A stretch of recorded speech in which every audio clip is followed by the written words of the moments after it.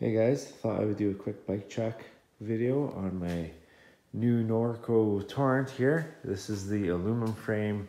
It's the A2 build, so this is the base, the base build for the Torrent.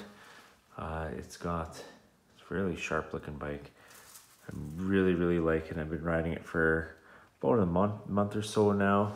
I'll make a riding impression video uh, shortly and bring that out as well. But the frame is aluminum, like I said, and it is it's got similar geometry. When you pull up the charts and look um look at the steel versus aluminum, they're a tiny bit different, but this is basically the same same recipe. It still has this the short 425 mil chainstay.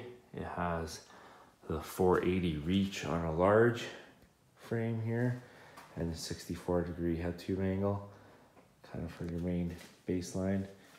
Geometry spec uh, comes with a 150 mil dropper and I'm about 5'9 I got some long legs so it looks like I can fit a, a 170 or yeah 170 dropper on there at least. Uh, also has uh, comes with the Hans Dampf tires. So far I've actually liked them but more to that in the next video. There's clearance looks like for more tire width up front and actually in the rear as well. So I'll have to look. I think Norco has it on their website, how wide you can actually go or how wide they recommend you to go. Just trying to show you between the stays there on the bottom. A little bit of space there. So I also put an insert in the rear and I've got these orange grips and pedals just to make it make it my own a bit. Um, comes with the Deore 11 speed, 11 speed. So that's an HG uh, hub. The back, it doesn't have the micro spline. 32 front chain ring, Deore cranks.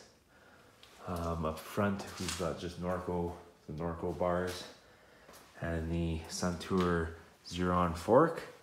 Uh, it's a coil fork, and yeah, more to that my riding impression videos, as well as the brakes, which is the only question I had. They're the Tektro Orion four pots.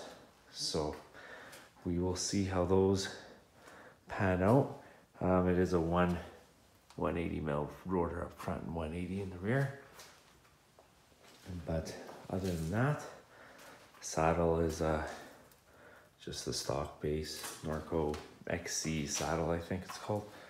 But yeah, it's a great looking bike. The one thing that the aluminum has over the steel is the cable routing.